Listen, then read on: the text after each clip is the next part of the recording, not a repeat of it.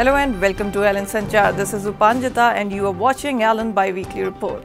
This is our September second half report with Allen Career Institute's latest news stories. Allen Pre-Nurture and Career Foundation Division students outshine the prestigious NTSE Stage 2 2018 results with 312 total selections from Allen. Every fourth NTSE scholar is an Allenite. Allen congratulates all the victors for this grand success.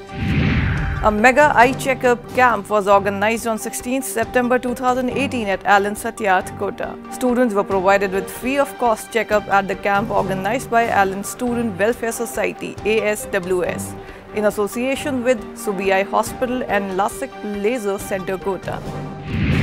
Allen organized two exclusive career guidance sessions for pre-medical students in Kota to aware and inform students about the various career options and opportunities they can choose from. These sessions help students choose the right career path during the preparation phase which leads to a bright future. Following this, Allen also organized mega board classes for pre-medical all-enthused students. Mega board classes specifically for physics and chemistry were also organized exclusively for Allenites in Kota.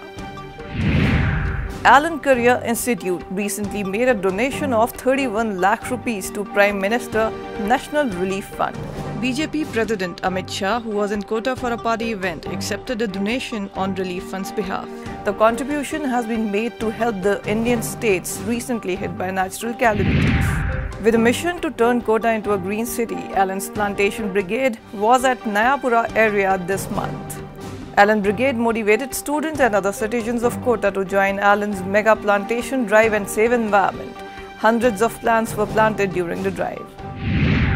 So these were the latest stories of Allen Career Institute from the second half of September. You are watching Allen Sanchar. Have a good day.